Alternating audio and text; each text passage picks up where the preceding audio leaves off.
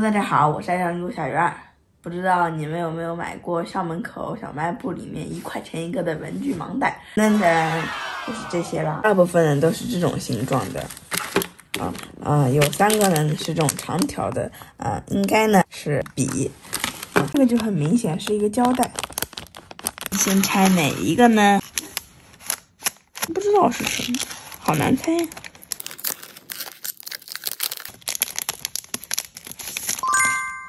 来，写写看，那蜡笔还可以收缩的。嗯，这支就让它值一块吧。继续拆笔，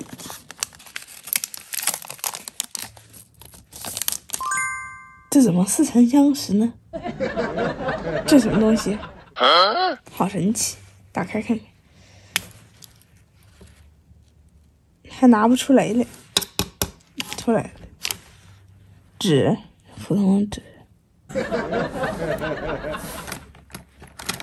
一模一样。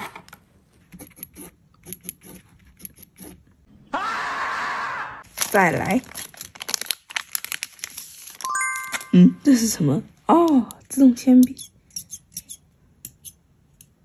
啊，用是能用的，就是这个声音真的有点难听。这也当值一块钱吧。拆这个吧，水彩笔，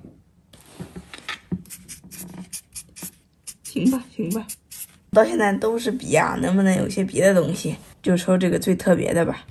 OK。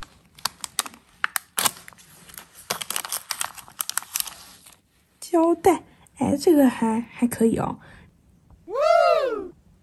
嗯，这个还行吧，做手账可以用，也值一块。再抽个惊喜袋，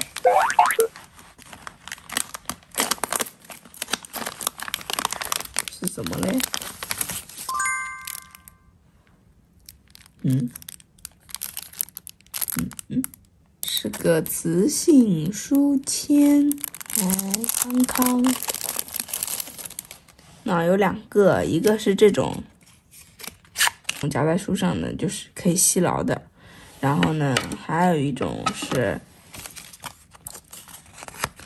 应该是可以贴在冰箱上的冰箱贴嘛。这个还行吧，至少能当个书签，值一块钱。这个橡皮啊，好别致啊！看这里还裂开了，大聪明橡皮，感觉。不值一块钱，不怎么样，不满意。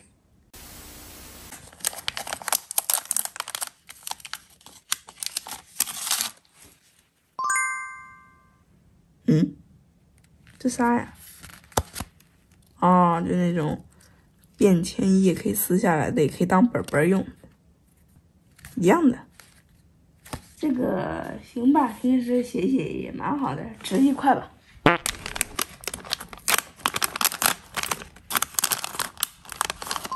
胶带，这个紫色的，猴猴最喜欢紫色的，好闪呢。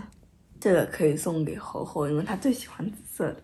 最后一个啦，拭目以待。